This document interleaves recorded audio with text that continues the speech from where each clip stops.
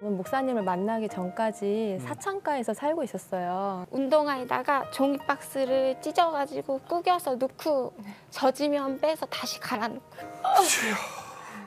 기도했었어요. 뭐라고 했어요? 이제 하나님이란 분이 살아계시면 저 좀 다른 데로 데려다가 그랬어요? 너무 무섭다고. 근데 그 기도를 들으셨던 것 같아요.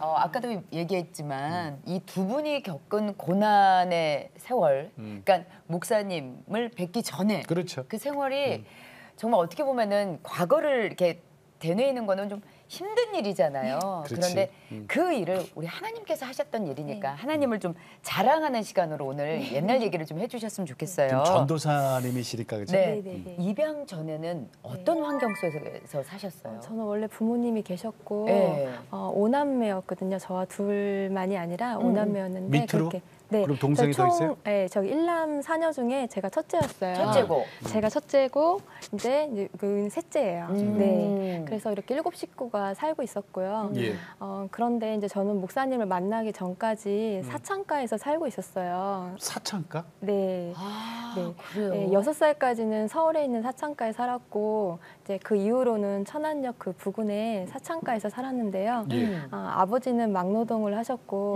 음. 어, 어머니가 사 창가에서 성매매를 하러 온 남자들을 이렇게 여인숙으로 데려다 주는 일을 하셨어요. 예. 예, 그래서 어릴 때 이제 거기서 일하는 언니들이 음. 그 밤이 되면 이렇게 또 음. 짙은 화장을 하고 또 음. 이렇게 드레스를 입고서 빨간색 불빛 아래 앉아 있었던 음. 기억이 지금도 생생하게 기억나요. 음. 그래요. 그러면은 우리 이슬 집사님은 어려서 잘 모르지 않아요? 그런 기억? 다 기억이 나요. 기억나요? 네. 어. 이제 부모님이 매일 같이 싸우셨어요. 근데 이제 어느 날 어머니가 이제 집을 나가셨는데 예. 1년 정도 계시다가 집에 다시 돌아오셨어요. 음. 근데 이제 혼자 돌아오신 게 아니라 예. 한 남자분을 같이 데리고 오셨어요. 남자를? 네. 예. 예? 그게 무슨 얘기예요? 저희 아빠가 계셨는데 음. 다른 남자분을 만나셨고 음. 그분을 따라 이제 밖에 이제 저희를 버리시고 나가셨다가 어. 1년 뒤에 다시 돌아오신 거예요 집으로. 근데 그 남자분이랑 같이 집에 네, 오셨다고요? 네. 이제 저희 같은 경우 이제 돌아오셨는데 음. 이제 하시는 말씀이 이제 여인숙을 하면서 돈을 벌면서 아이들 돌보겠다. 그 대신 이 남자도 저희 집에서 같이 살자 우리 이렇게 말씀을 하시더라고요. 그러면 식구가 일곱에서 여덟이 된 거예요? 네, 네. 아니 그러면 어, 이해가 안 돼. 그 같이 오신 남자분은 엄마의 남편으로 사는 거예요? 그럼? 아빠도 같이 그러니까 아빠, 아니지. 엄마, 음. 이제 남자분 저희 오남매에서 이렇게 여덟이 같은 집에서 살게 됐어요. 음. 근데 어린 나이에 이해가 잘 되지 않았어요. 아빠가 그 뭐라고 계신데 불렀어요 그 남자를? 그냥 아저씨라고 불렀어요. 부르기는. 네, 근데 싸움을 아까 엄마 아빠가 많이 했다 그랬거든요. 네. 그럼 그, 그- 아저씨도 싸워요? 그 같이? 같이 술을 마시, 마시고 같이 세 분이 싸우시고 술만 먹으면 네, 그 속에서 오남매가 자랐단 말이에요? 네. 아니 그러니까 정말. 이게 저 우리 일반 상식으로는 좀 이해가 안 돼요, 그죠? 일- 정말 이해가 안 음, 되죠. 이해가 좀 안 되지만 예. 그러면은 우리 저 전도사님 네. 맞딸이라 그랬잖아요. 네네. 음. 그 밑에 동생이 이제 넷이 더 있어요, 그죠? 네네. 어? 맞딸인가 오남매니까. 막중하다 진짜. 그러면은 생활을 우리 음. 전도사님이 책임을 졌던 거예요? 그렇죠. 엄마가 이제 음. 그 일을 하셨, 하셨기 때문에 밤마다 일을 하러 나가셨어요. 네. 그래서 저는 어릴 때부터 이렇게 동생들을 밤마다 엄마 찾는 동생들을 업고 또 달래주고 또 아. 이제 배고프면 먹이고. 젖병 물려주고 막 이렇게 했었거든요. 예. 그리고 이제 어, 엄마가 이제 저 1학년 때 중학교 1학년 때 이제 다른 남자를 만나기 시작했는데 음, 음. 그때부터는 아예 집안일을 돌보지 않으셨거든요. 음. 그리고 이제 중3 때는 아예 이제 1년 동안 이제 동생 얘기한 것처럼 음, 음, 음, 음. 남자랑 방을 얻어서 나갔었거든요. 음. 그래서 집안일이랑 또 동생 돌보는 거, 아. 또 아빠 챙기는 것까지 제가 다 그러면은 서울에서 어. 그 소위 말하는 네. 사창가에서 그렇게 살다가 네. 음. 또 천안으로 이사를 가셨었다면서요. 네. 그러면 거기서도 그럼 똑같은 사창가에- 엄마가 그 일을 네, 하셔서 그 일을 하셨어요. 제가 기억할 수 어리, 기억할 수 없는 어린 나이 때부터 예. 엄마는 그 일을 하셨어요. 그리고 그러니까 엄마도 직접 네 몸을 파는 일도 하셨고요. 엄마도 네, 아. 자 그러면은 서울에 집창철에 살다가 네, 천안으로 이사 갔다 그랬거든요. 네네. 음. 그 거기도 집창촌이라 그랬잖아요. 네 네 네. 거기서 우리 이은정 전도사님 맏딸이 버려져요. 아니 이게 무슨 소리예요? 고2 때 아니에요, 그럼? 고1 때 무슨 일이 있었어요? 고1 때예요? 그게? 네 네. 어. 어, 제가 고등학교 1학년 때 이제 학교 임원이라서 이제 학교에서 수련회를 가야 되는 상황이 되어서 공부 예. 잘하셨구나. 그래서 목사님, 저 어, 엄마한테 음, 음. 이제 수련회 갔다 되냐고 했는데 예. 엄마 흔쾌히 허락을 하시더라고요. 음, 음, 그래서 음. 수련회를 사흘 다녀왔어요. 그런데 음. 왔는데 집에 아무도 없더라고요. 그래서 동네 몇 바퀴를 돌면서 동생을 이렇게 찾으러 다녔는데 음. 동생들이 보이지 않는 거예요. 음. 그래서 어떤 일인지 어떤 그러니까 무슨 일인지 잘 모르니까 음, 이제 멍하니 앉아 있는데 그때 이제 집 여인숙 집주인 아주머니가 음. 막 따- 뛰어 들어와서는 음, 너희 엄마 어디 있냐고 소리를 지르면서 음. 내돈 어떻게 하냐고 한참 우시더라고요. 그래서 그때 이제 엄마가 저만 버려두고 음. 어, 도망을 치, 쳐, 도망을 갔구나라고 이제 그때 알게 됐어요. 야반도주. 남의 돈 네. 집주인 돈을 어떻게 하고 그렇죠. 월세를 계속 못 냈으니까 엄마가 이제 제대로 여인숙 운영하지 못했기 때문에 계속 월세도 밀렸고 또 이제 돈도 빌리고 했으니까 음. 이제 그걸 아니 그래도 그렇지 수련회를 간 딸이 있는데 나중에 이제 동생한테 듣기로는 제가 이제 그 외도한 남자와 사이가 안 좋았거든요. 음. 그러다 보니까 이제 저한테 같이 도망가자고 얘기하면 전 안 가겠다고 할 걸 알고선 음. 그냥 언니 버리고 간걸 알고 있었어요? 아니면은 몰랐지, 언니가 뭐. 집을 나간 그냥 거라서? 모르고 엄마 모르지, 따라가서 어린- 그때 제 나이가 12살이었거든요. 아. 12살 때 강원도 네. 어디예요, 거기가? 강원도 평창 신리라는 곳인데 네. 거기서 네. 생활은 어땠어요? 네. 그럼? 아무것도 돈을 가져간 게 없었어요. 예. 그래서 이제 집을 얻을 수가 없으니까 음. 그 산에 폐가가 있었거든요. 음. 음. 거기 이제 뭐 전기도 안 들어오고 음. 뭐 물도 안 나오고 음. 그래서 이제 밤에는 촛불 켜고 살아야 했고 물이 없으니까 냇가에 가서 물을 떠먹고 음. 빨래도 그렇게 하고 화장실도 없어서 그냥 아무데나 가서 이렇게 해결을 하고 그랬어요. 그때 식구는 그때 식구는 이제 엄마, 아빠, 아저씨, 저 그다음에 동생 둘. 그러니까 언니만 빠졌네. 네. 그 아저씨는 계속 있고 네. 집사님이 뭐, 뭐 생계를 뭔가 책임졌다면서요? 뭘 했다며요? 네. 이제 거기서 1년 정도 살다가 어. 이제 강원도 원주에 집창촌 근처에 이제 방을 어. 얻었어요. 거기가 이제 방이 싸고 가 이러니까 아, 또 집창촌이야? 예, 예, 그 근처에 얻었는데 한날은 엄마께서 이제 너랑 같이 갈 곳이 있다고 음. 데리고 가시는데 예. 집창촌에 있는 여인숙으로 저를 데리고 가시더라고요. 음. 그러면서 저에게 이제 할 일이 있다고 이제 엄마 대신 일을 거기서 하게 됐어요. 아, 거기서 하는 일이 이제 거기서 일하시는 이모들의 속옷 빨아주는 일이랑 이제 거기 일하는 방 청소하는 일을 하게 됐어요. 13살 딸을 네, 근데 엄마가 그때 하신 말씀이 힘든 일이 아니니까 잘하라고 그렇게 말씀하셔서 그 다음 날부터 이제 이모들 속옷 빨아주는 일이랑 방 청소를 했어요. 그러다 이제 동네 분들이 13살 아이가 그런 일을 하니까 너무 불쌍하게 보시고 이제 다른 일을 소개시켜 주셨어요. 예. 이제 그 일은 이제 빵 공장이었는데 예. 일반적인 제과점이 아니라 이제 뭐 병원 매점이나 이제 회사 같은 데 납품하는 그런 공장이었어요. 음. 근데 거기에서 이제 아침 이제 새벽 6시 반에 가서 밤 10시까지 하루에 16시간을 일하면서 음. 한 달에 50만 원 벌었어요. 그걸로 그럼- 생활했어요, 아니, 가족이? 네. 예, 그, 그러면서 이제 학교도 다니지 못하고 음. 이제 목사님 만나기 전까지 거기에서 일을 했어요. 그러면은 그때가 13살이라 그랬거든요. 네, 13살부터 시작했어요. 그러면 초등학교도 못 다녔어요? 네, 학교 안 다녔어요. 아니 그러면 아, 글은 토냐. 글은 배웠어. 글도 그냥 초등학교도 그냥 졸업이 저의 그냥 최종 학력이에요.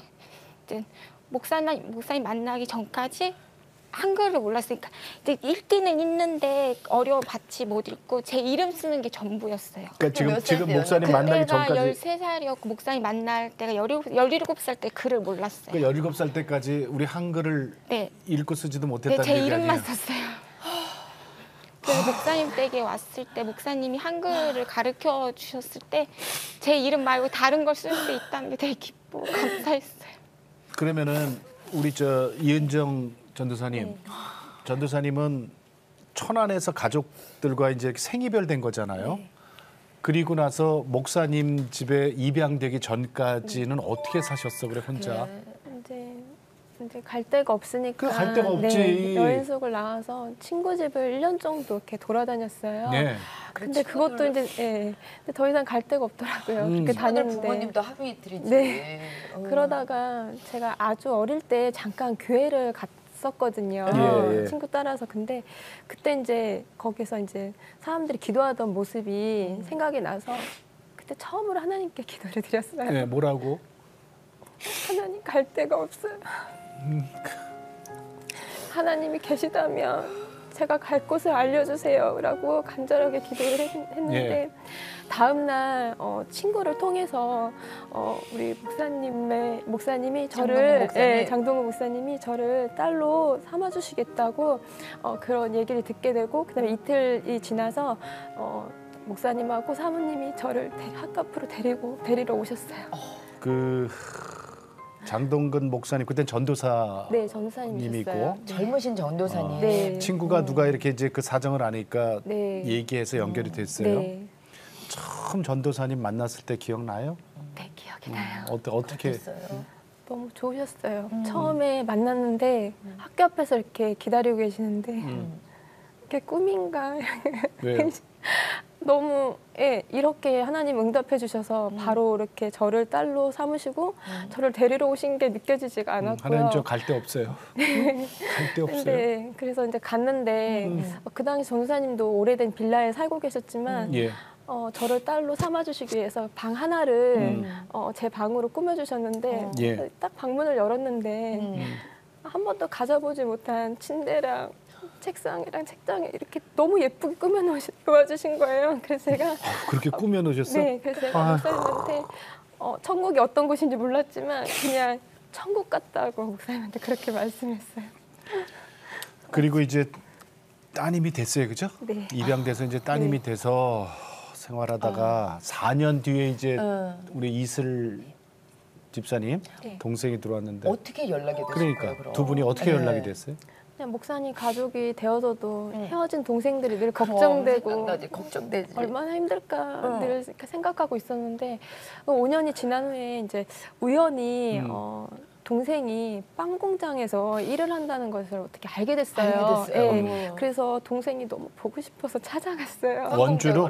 네, 원- 원주로. 원주까지? 네, 예. 찾아갔어요. 혼자서. 음. 근데 갔더니 동생이 어, 신발은 구멍이 나서 이게 너덜너덜해지고 손은 습진으로 이렇게 갈라지고 찢어져 있더라고요. 그런 동생을 보니까 너무 마음이 아파서 음. 이렇게 부둥켜 안고 한참 울었던 것 같아요. 그래서 제가 동생이 이제 어릴 때 수술을 받아서 워낙 건강이 좋지 못하는데 음. 어, 거기서 이제 16, 16시간 동안 일을 했기 때문에 건강이 되게 안 좋아 보였거든요. 음, 그래서 음. 제가 동생 보고 천안 가서 같이 살자고 했어요. 음, 음. 예. 그런데 남은 도, 근데 동생이 남은 동생들 때문에 음. 쉽게 결정을 못 하더라고요. 아유, 자기가 먹여 살리고 있으니까.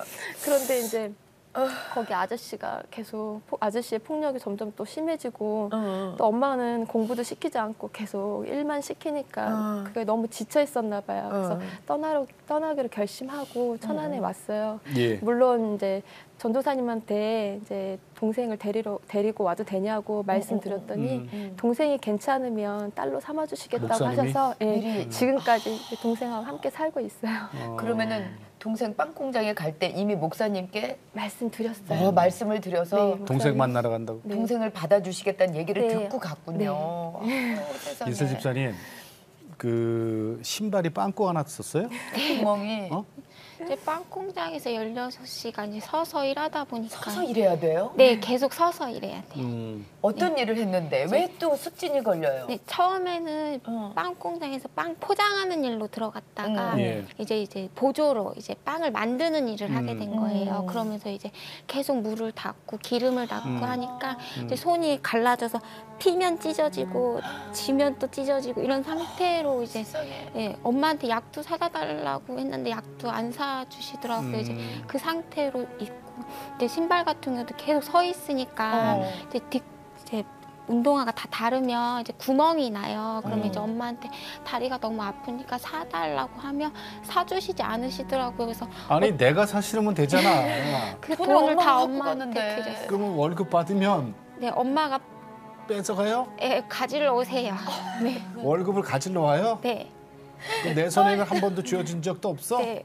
그래서 이제 운동화에다가 종이 박스를 찢어가지고 구겨서 넣고 젖으면 빼서 다시 갈아놓고 젖으면 다시 갈아놓고 그러고 이렇게 살았어요? 네. 근데 그건 별로 힘들지 않았는데 그 아저씨랑 엄마의 폭력이 너무 힘들었어요. 왜요? 때려요? 네. 네. 이제 두 분이 이제 싸우시면 밑에 동생들이 있으니까 이제 말리면은 그 말리다가 말리는 저를 때리셨어요.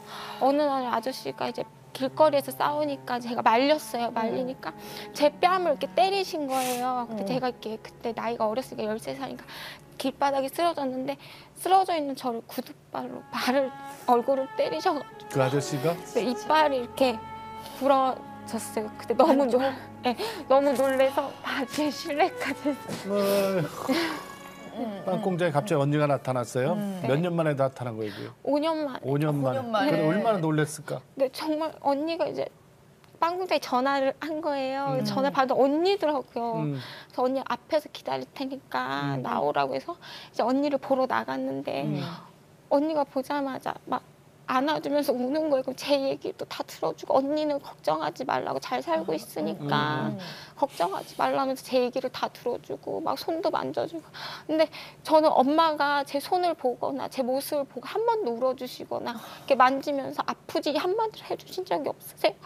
근데 언니가 오자마자 그렇게 해주니까 너무 눈물이 나더라고요. 음. 언니를 따라갔어요. 예.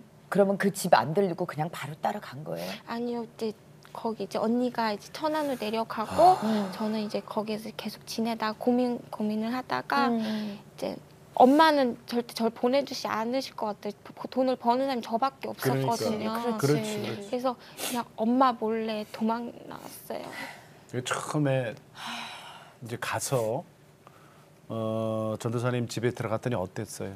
되게 다 따뜻하게 대해주시더라고요. 근데 제 음. 모습이 그때 너무 이렇게 안 좋았어요. 음. 이제 이빨은 부러져 있고 음. 엄마가 저를 죽인다고 또 머리에 불을 지르셔서 머리가 아? 다타 있었어요. 네. 그래서 이렇게 불을 질러요 머리에다? 네 죽이겠다고 이제 기름을 이제 뿌리시고 이제 달력에 불을 붙이셔서 저한테 던지셨거든요. 어. 다행히 이제 머리에 탔는데 바, 옆에 물 이렇게 빨간 달에 있어. 그걸 제가 바로 써서 다른 데는 좀 안, 다치진 않았지만 왔을 때 이제 머리가 다 이렇게 탈락. 여기 우리 저 어, 목사님 함께 오셨잖아요. 아. 네, 우리 장동근 목사님. 네, 네 오래간만에 뵙겠습니다.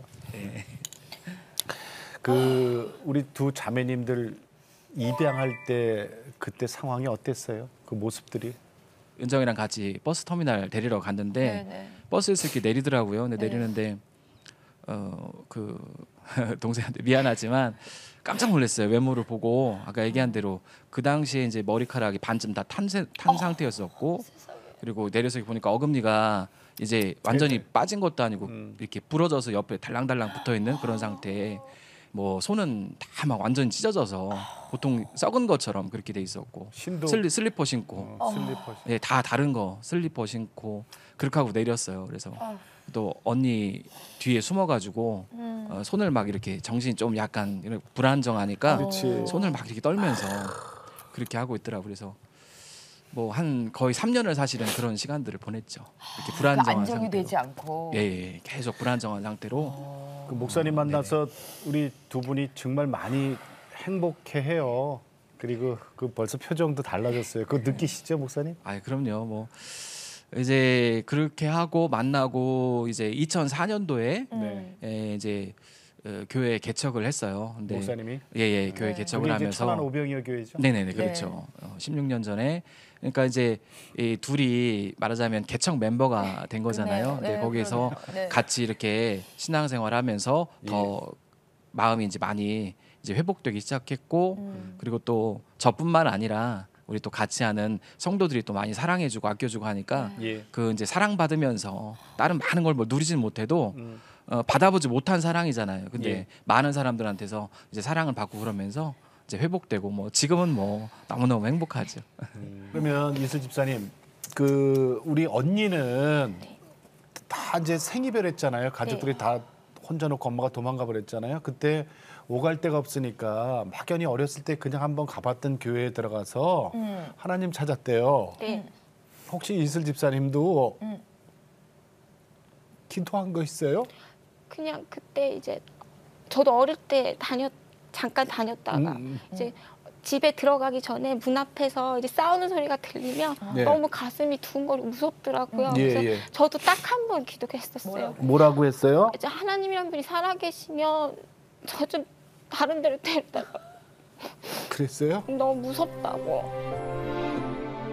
부모님한테 버림받고 이제 갈 데가 없어서 그때 기도를 드렸을 때 예. 제가 그때 하나님이 계시면 음. 어, 제가 갈 곳을 알려주세요라고 네, 네. 기도를 드렸어요. 음. 그런데 그 다음 날 하나님께서 친구를 통해서 음. 당시 전도사님이었던 야, 날이에요? 네 다음 날 음. 어, 그래서 제가 하나님이 살아계시는 것을 믿을 수밖에 없었고요. 그다음에 예. 이제 목사님이 목사님의 가족이 된 후로는 목사님의 삶을 통해서 제가 하나님을 만났어요. 네. 목사님이 아무 조건 없이 또 저와 동생을 받아주셨고 음. 그리고 이제 교회를 개척하면서 참 힘들고 어려웠는데 예. 그런 와중에도 하나님 말씀에 늘 순종하시면서 음. 그 그걸 순종하시니까 이제 하나님께서 모든 일을 이루어 주셨거든요. 예, 그래서 예. 그걸 통해서 이제 하나님이 살아계신 것도 믿고 음. 또 경험하면서 저의 믿음이 점점 성장했던 것 같아요. 음. 어, 근데 저는 그런 생각도 들어요. 음. 왜 나를 그런 가정에 보내셨을까 하는 그런 속상함은 없으셨어요? 처음에는 많이 원망도 되었고요. 음. 어, 나는 왜 이런 환경에 태어났고 음. 음, 차라리 태어나지 않았으면 좋겠다라는 생각을 했었는데 음. 하나님을 만나고 나서 음. 예. 이제 하나님 은혜를 깨닫고 나니까 음. 아 이것이 어, 저의 아픈 음. 음, 그 상처가 다른 사람들에게 또 소망이 되고 희망이 될수 음. 있게끔 하나님이 하나님 자신을 알리려고 저를 음. 그렇게 사용하시려고 그랬던 네, 것 네. 같아요. 네, 네. 아, 우리 이슬 집사님은 네. 어땠어요? 하나님 처음에, 만나는 음, 거. 복음이 처음 쉽게 받아들여졌어요? 이제 처음에는 그냥 네 웃지도 않았어요. 네 웃지도 않고 음. 말도 잘 안 하고 맨날 무표정하고 있고 우울해 있고 이랬었는데 음, 음. 이제 저 처음 조금씩 조금씩 느껴가면서 아, 목사님하고 언니가 믿는 하나님이 어떤 분이 시게 어떤 분이 궁금하고 그런 저를 이렇게 부족한 저를 사랑해 주시는 그 하나님이 너무 궁금하게 된 거예요. 음, 음. 그러면서 이제 목사님처럼 언니처럼 사모님처럼 살고 싶다는 음. 이제 꿈이 생겼고 그러면서 이제 저 부족하지만 한글도 모르고 음. 너무 이렇게 세상에서 부족한 사람이지만 하나님 위해서 저 좀 써주세요 하면서 기도하면서 이제 믿음이 조금씩 자라게 된 것 같아요. 써주세요. 네, 써주세요. 써주세요. 저 좀 써주세요. 그러니까 그러기 전에는 사람들이 뭐 정신병원에도 좀 가봐야 되는 거 아니냐 이런 네. 얘기까지 들었다면서요? 무슨 네, 너무- 얘기까지 했어요? 네, 불안 증세가 너무 심하니까 어, 어, 어떻게 네. 이렇게 행동으로 나오던가요? 사람이 만나는 게 너무 무섭고 사람을 못 만나고. 네. 네. 음, 또- 네, 막 이렇게 가만히 못 있고 막 새- 계속 손을 떨고 그것도 틱, 음. 틱장애지 그러니까 예, 일종의. 이렇게 계속 불안한 마음에 막 이렇게 어떻게 가만히도 못 있고 말도 예. 잘 못하고 사람도 무섭고 음. 이래서 주변 분들 저의 그런 모습 보시고 정신병원에 가야 되진 않는 거냐고 아. 목사님한테 말씀을 하셨대요. 그래요? 근데 목사님이 그런 말씀 들으시지 않으시고 음. 저를 3년 동안 그런 모습이 변화되기까지 사랑으로 품어주시고 어. 3년이 걸렸어요. 네. 그럼 3년? 3년 뒤에 목사님 댁에 오시고 3년 뒤에 이제 웃고 네, 변화되기 네. 시작한 네. 거예요. 그러니까 3년 뒤부터 지금 얼굴 안에. 네. 아. 이게 얼마나 예뻐요. 아니, 그러니까 저희가 이렇게 예쁜 얼굴이. 어제 방송을 할때 네. 두분 이렇게 인사를 나눌 때 두 분 두 분한테서 그늘이라는 게 보이지 않았기 때문에 그늘이 뭐예요? 그늘이라는 게 뭐예요? 네, 햇빛 비치면 이렇게 어두워지는 그늘 있잖아요. 그 사람한테 그게 있어요? 아우 그래서 저는 어, 이분들에게서 어떤 고난이 있을까 했는데 그렇지. 아 그게 정말 목사님과 사모님의 그런 또 사랑. 언니의 그, 그- 회- 그 정말 옆에서의 기도와 네. 사랑으로 회복되신 거군요. 저 이슬 집사님, 네, 이런 질문 드릴게. 네. 처음에 17살 때까지 학교를 못 가갖고 네. 초등학교도 이제 졸업 못 했잖아요. 저 졸업이 뭐야? 단질 안 했어요. 그죠? 네. 그 글을 몰랐잖아요. 글. 네. 한글. 네. 알, 아는 게 딱 두 글자 있었어요, 그죠? 이슬 이름. 내, 이슬하고. 내 이름 그거는 이슬. 그리는 거지 뭐. 네. 어. 어떻게 배웠어요? 나머지 그 한글 나머지 이제 목사님 하나하나 다 가르쳐 주셨어요. 집에서 네. 어떻게? 뭐 기억, 니은부터 이제 음. 성경 이제 보면서 성경 아. 따라 쓰라고 하면서 따라 쓰면서 받침도 배우고 음. 성경 쓰면서 이제 그렇게 배워 나갔어요. 그러면은 아. 한글 이렇게 배워가는 그 재미가 어땠어요? 그 제 이름 말고 다른 걸 쓸 수 있다는 게 음. 너무 신기하고 재밌었어요. 처음에는 17살인데 네. 이름밖에 모르니까 창피하지. 창피하고 부끄러웠는데 음. 그냥 이렇게 배워가는 게 너무 즐거웠어요. 뭔가를 배운 적이 별로 없어서 네, 네.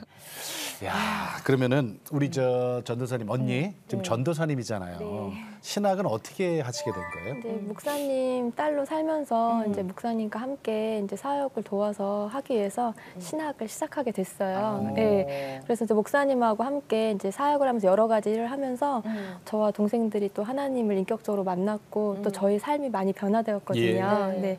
그러면서 하나님이 또 길을 열어주셔서 저의 이런 아픈 이야기들을 다른 사람들한테 이렇게 음. 전하면서 예. 그분들에게 또 치유와 또 회복이 일어날 수 있는 좋은 기회들을 많이 열어주셨어요. 음. 그러면 지금 교회가 이제 천안 어, 오병이어 교회잖아요. 네. 장동근 목사님이 개척하신 네. 음. 거기서는 어떤 역할 하세요, 우리 전 도사님? 어, 오병이학교가 이제 16살이 되었거든요. 어, 신기하다. 네. 맞아요. 벌써 그렇게 됐다. 네. 예. 그때부터 제가 우리 청년들 많이 모이잖아요, 거기. 네, 청년부 많이 모였고요. 음. 그때부터 제가 어린이부를 맡게 되었어요. 예. 음. 어, 제가 이제 부모님한테 받은 상처가 많아서 저거 제가 아이들을 특별히 조금 국률이 여기는 마음이 있거든요. 네, 네. 어, 아무래도 그걸 목사님 보시고선 음. 저한테 어린이부를 맡겨주셨는데 네. 제가 이제 그동안 이제 300명의 아이들을 하나님께 인도할 수 있었어요. 하나님의 300명? 네, 하나님의 은혜로. 네. 와. 네. 오. 처음에 맡을 때 몇 명이었어요? 어, 그때는 아무 하나도 없었어요. 어, 그래요. 아무도 없는데 네. 전도사님이 네. 어? 그러면은 뭐 전도도 하시고 막 다 이렇게 네, 그때는 정말 하나님 은혜였던 게 나가면 예. 그냥 열매가 맺었어요. 그래서 매주 나갈 때마다 예. 아이들이 전도되어서 왔고요. 네. 네, 그래 그 다음에는 300명 네. 아이들 복음 전하고 네. 와 아. 하나님이 이렇게 진짜. 그랬구나. 그렇지. 야 월척을 낳는 어부다. 어? 어. 우리 저 저 목사님 댁으로 보내자. 딱 하셨던 것 같아. 그래. 그러면은 지금 이슬 집사님은 왜 어제 얘기하실 때 건강이 좀 안 좋으셨다 그랬잖아요. 어렸을 때부터 좀 안 좋았던 거예요? 아니면 그 공장 일하면서? 그왜 안 그래서 어디가 안 좋아요? 그때 응? 제가 이제 엄마 뱃속에 있을 때부터 음. 이제 안 좋게 태어났대요. 왜요? 엄마가 뱃속에 있을 때 술 담배를 많이 하셔서? 이제 폐장에 안 좋게 태어나서 이제 네 췌장? 살 네. 예. 네 살 때 급성 췌장염으로 수술을 받았어요. 예. 네. 네 살이 네, 네 살 때야. 네. 그래서 이제 수술을 받고 그걸 음. 이제 관리를 해야 하는데 음. 그걸 관리해야 되는지 전혀 모르고 이제 만성 췌장염으로 가서 이제 2013년도에 제가 쓰러졌어요. 예. 예, 그래서 이제 다행히 하나님의 은혜로 음. 다시 회복돼서 이제 일어났는데 그게 이제 오래되다 보니까 후유증으로 영양 흡수 장애가 나타나서 아. 네, 네. 영양이 흡수가 안 되는 네, 거예요. 네. 그래서 많이 먹어도 이제 체중이 늘지 않고 음. 조금 적게 먹으면 체중이 빠지고 그래서 막 37일 6까지 이렇게 빠지고요. 음.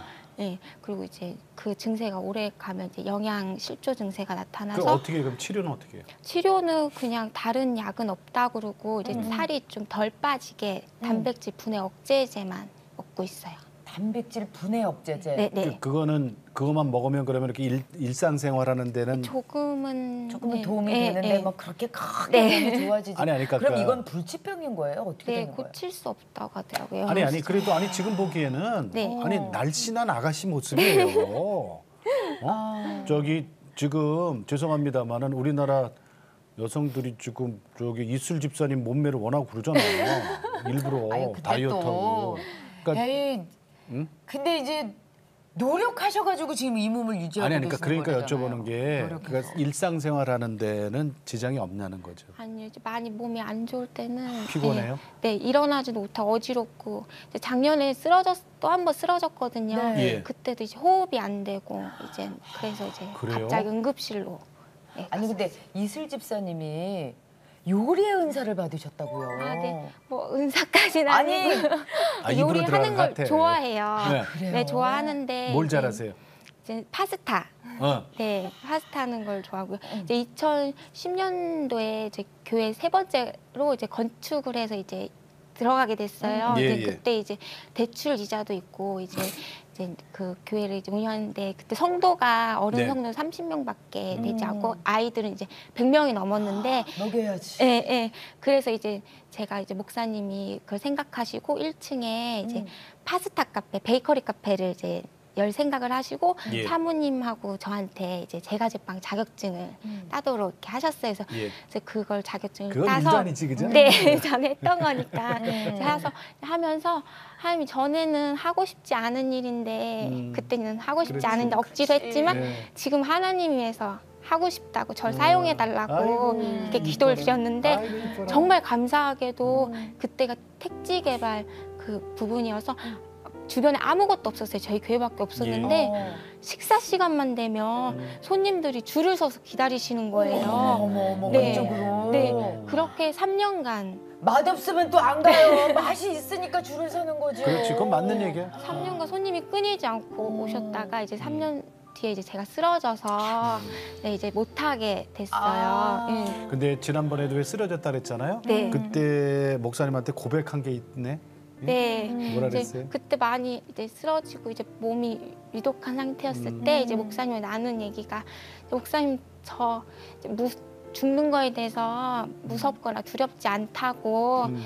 지금 너무 사랑 받고 있고 지금 너무 행복한 이때에 죽는 게 두렵지 않다고 행복하다고 음. 무섭지 않다고 말씀드렸어요. 지금 너무 행복해서. 네.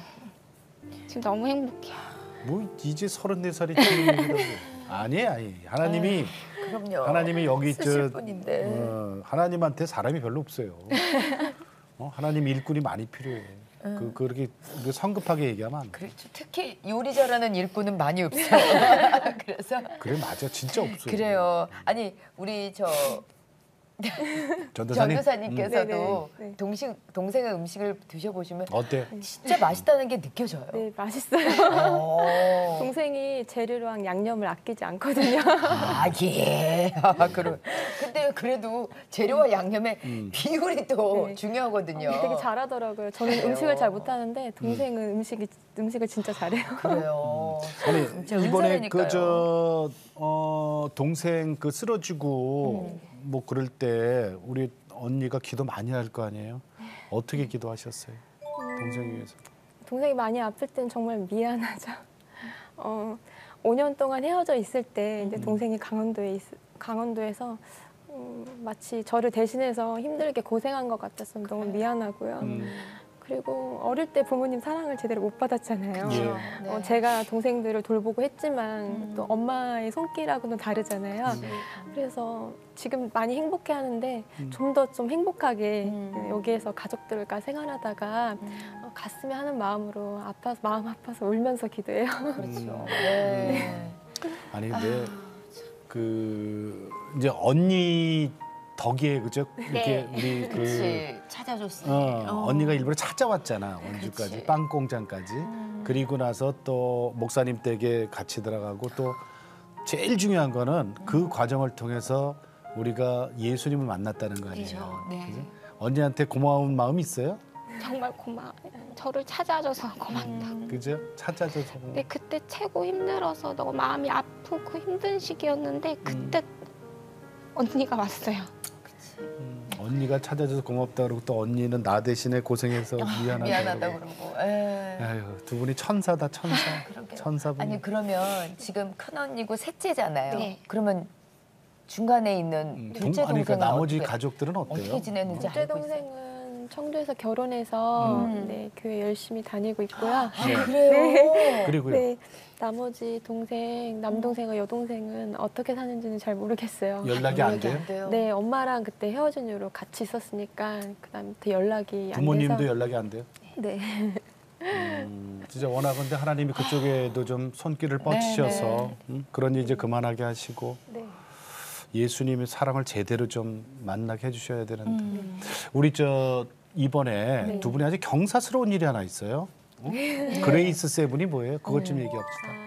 아, Grace Seven은 네. 어, 저처럼 저희 둘처럼 이렇게 상처를 가진 어, 사람들이 모여서 목사님을 포함해서 예. 여덟 명이 음. 어, 아둘람 공동체라는 이름으로 함께 20년 정도 살, 가- 같이 살고 있거든요. 공동체가 네. 있어요. 네, 근데 8년 전에 하나님이 저희한테 비전을 주셔서 음. 이제 사람들의 마음과 치유를 회복하는 음. 그런 공간을 음. 어, 또 마련해서 그런 일을 그런 사역을 하기를 원하셔서 네. 저희가 이제 8년 전에 했던 것이 1년 전에 땅을 구입하고 음. 또 이제 건물을 세웠어요. 어디다? 몇 층짜리? 네, 어 2층이야. 2층짜리 100평인데 2층. 네. 어디래요, 거기가? 아, 천안 예술의 전당 네. 근처 그 부진에 음. 네. 근데 거기에 Grace Seven은 뭐예요? 아, Grace Seven은 음. 아, 저희 목사님 빼고 네. 또 사모님하고 저희 자매들 이렇게 같이 함께하는 자매들 일곱 일곱 명? 명. 어. 그래서 Grace Seven. 네. 아. 근데 아니 근데 거기 그게 무슨 파스타 집이라면서요? 네, 1층이 어. 파스타 카페. 음. 제가 파스타 거기서 카페로. 파스타를 만든 셰프예요. 아, 우리 아, 그러니까 그게, 이슬 그게 그렇게 집사님이. 유명하대. Grace Seven이 음. 사실은 지금 오픈한 지 얼마 안 됐잖아요, 그죠? 네. 그게 앞으로 어떻게 쓰임 받기를 원하세요, 집사님? 이제 그곳에서는 네, 이제 저희 같이 진짜로 아프고 힘들고 진짜 꿈도 없는 분들이 오셔서 네, 맛있게 드시고 회복하시고 또 이제 목사님이 십자가 조각을 하시잖아요. 예. 그 이제 2층에 갤러리로 이제 들어가서 십자가의 길이라는 이름으로 음. 해서 이제 오셔서 거기 은혜 받고 예. 이제 감동받고 회복하고 음. 이제 또 이제 언니가 문화 프로그램을 통해서 음. 이제 어른들과 아이들이 이렇게 문화 프로그램도 체험하고 아. 이런 공간이 돼서 이제 회복하는 공간. 아, 거의 네. 그가 거기가 회복실이네요. 네, 네 그런 아. 공간이. 그러니까 이게 저기 힐링 센터네. 네, 네, 네. 그죠? 네. 음식도 나누고 그다음에 십자가 음, 네. 그 전시도 보면서 복음도 우리가 생각하고 그 다음에 문화 공간도 있고 어. 강원도 빵 공장에 있었으면 상상도 못할 네, 일인데. 그러면은 언니랑 이제 만나서 이렇게 함께 생활하면서 뭐가 제일 감사하세요? 제일 감사한 건제 음. 모습이 참 그랬잖아요. 음. 한글도 모르고 머리는 다 타고 막 음. 신발도 막 이렇게 너무 부족한 모습인데 그냥 세상에서는 부족해서 그냥 사랑받지 못하고 자라다가 음. 하나님 안에 가족 안에 들어오니까 스리야 너는 예뻐 스리야 너는 사랑스러워 스리야 하나님 너는 특별하게 만드셨어 이렇게 말씀 들을 때마다 예. 아 내가 사랑받을 수 있는 사람이구나 음. 거기서는 이제 엄마랑 아저씨 사이에서 아이를 또 낳으셨어요 네. 어. 그래서 더 소외감을 느꼈고 아 내가 사랑받을 수 없는 사람이구나라고 생각을 예. 했었거든요 예. 근데 여기서 와서는 아 내가 사랑받을 수 있는 사람 충분한 사람이구나 이렇게 진짜 예쁘세요. 아 감사합니다 네, 정말 예쁘세요. 네. 감사합니다 그 아직도 말이죠. 우리가 21세기에 살고 있지만 사실은 우리 이렇게 햇빛이 강하면 그늘이 음지가 더 짙다 그랬거든요. 네. 그러니까 우리가 모르게 아직도 그 어려워하시는 그런 청소년이라든가 음. 어린 아이들이 많이 있어요. 네. 막 극단적인 생각까지 하잖아요. 요새는 그런 그랬잖아요. 사람들에게 듣고 우리. 이슬 집사님 그런 아이들에게 어떤 얘기 해주고 싶으세요? 음, 일찍 포기하지 말라고 하나님이 손을 내밀어 주실 텐데 그저 음. 기다리라고 그러니까 포기하지 말라고 음, 그렇게 얘기해 주고 싶어요 음. 우리 저 전도사님은 어, 혹시 제 이야기를 만약에 보게 되거나 듣게 된다면 예. 하나님이 계시다는 걸 믿고 음. 어, 한 번만이라도 하나님을 찾았으면 좋겠다는 생각이 들어요. 음. 글쎄 하나님을 만나기 전에는 자기의 그 생활 환경 이런 것 때문에 비관할 수는 있어요. 네, 그리고 하나님을 막 욕할 수 있어요, 그죠? 하나님이 정말 살아계시다면 나를 왜 이렇게 버려두십니까? 하지만 거기까지가 아니라 한 발 더 나가면 네. 이제 이제 두 분이 네. 오늘날 이렇게 변한 것처럼 그 맛을 봐야 되거든요. 네. 하나님이 움직이시는 그 맛을 꼭 포기하지 마시고 그래요. 네. 예, 예.